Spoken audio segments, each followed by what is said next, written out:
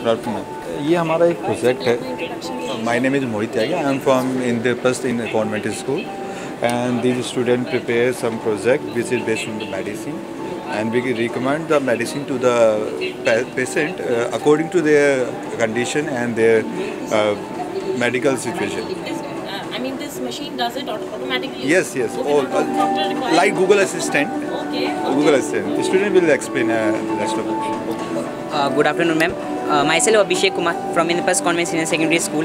So we made this. Uh, हमने इसका नाम मेडीबॉट इससे रखा है क्योंकि ये मेडिसिन प्रोवाइड करवाएगा for some basic feelings like हमें फीवर हो रहा है हेड एक फील हो रहा है स्टमक एक फील हो रहा है उस समय हमारा हमारे आसपास कोई एल्डर नहीं है जिससे ये इन सब चीज़ के बारे में पता है कि कौन सी मेडिसिन कब लेनी है और किस सर्टेन कंडीशन में लेनी है तो उस समय ये मेडीबॉट हमारी हेल्प करते हैं।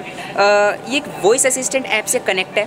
M I T inventor app पर हमने इसे बनाया है। और जब हम उसमें कमांड देते कि मुझे फीवर फील हो रहा है या फिर मुझे हेडेक फील हो रहा है तो उस हिसाब से मेडिसिन बताया किस बॉक्स में रखें हमने इसके अंदर सिक्स बॉक्सेस लगा रखे हैं फॉर प्रोटोटाइप कि अभी इसको शोकेस करना है इसीलिए। अगर हम इसके अंदर और ज़्यादा इवोल्यूशन करना चाहेंगे और ज़्यादा मेडिसिन डालना चाहेंगे एडवांस करना चाहेंगे। इसकी वर्किंग देखते हैं एक बार ये काम कैसे करता है फिर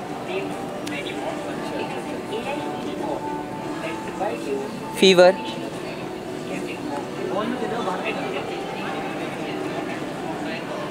vomiting and hairs also that कि इफ़ यहाँ पर इसके ऊपर कोई ऐसी.